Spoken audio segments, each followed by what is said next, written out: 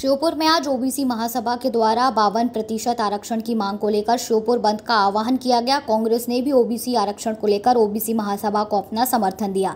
इसको लेकर सभी दुकानदारों ने ओबीसी महासभा को अपना सहयोग दिया और बाज़ार बंद कर अपना समर्थन ओबीसी महासभा को दिया गया।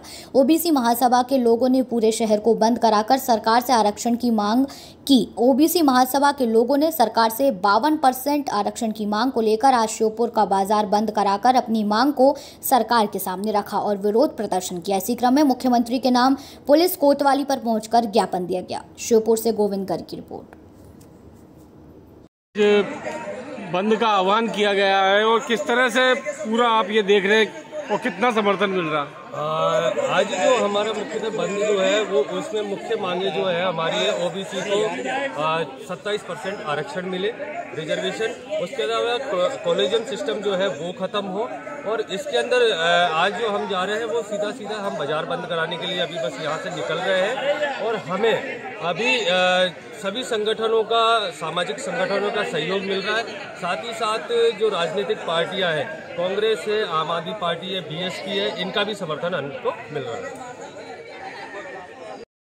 अब ये हमारे S C S T O B C सब मतलब मिल के हम धरना प्रदर्शन कर रहे हैं कि हमारा ओबीसी का आरक्षण हमारा दिया जाए। पूरा ख़त्म कर दिया गया था। अब हमें पूरा नियम तौर से कानूनी तौर से हमें बावन परसेंट आरक्षण मिल, मिलना चाहिए।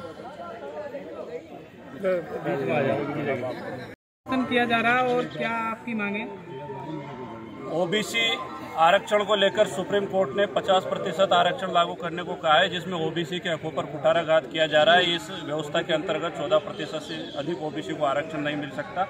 इसके विरोध में ओबीसी का कम से कम 27 परसेंट आरक्षण लागू करवाने के लिए ओबीसी महासभा ने पूरे मध्य प्रदेश में, मध्य प्रदेश बंद का आह्वान किया है। उसी के अंतर्गत आज ओबीसी महासभा के बैनर तले सभी संगठनों के सहयोग से एस सी माइनॉरिटी के जितने भी संगठन है, श्योपुर ज़िले के सामाजिक संगठनों के सहयोग से श्योपुर बंद का आह्वान किया जा रहा है। यहाँ से हम एक रैली निकालेंगे, मार्च करेंगे, बाज़ार बंद करवाएँगे, फिर सिटी कोतवाली पे ज्ञापन देंगे और सरकार से मांग करेंगे, ओबीसी आरक्षण को लागू किया जाए, पंचायत चुनाव, ओबीसी के 27 परसेंट आरक्षण के साथ ही किया जाए। अगर सरकार इस मांग को नहीं मानती, ओबीसी आरक्षण अपने पूर्ण स्वरूप में लागू नहीं होता है तो इस आंदोलन को उग्र किया जाएगा, व्यापक किया जाएगा।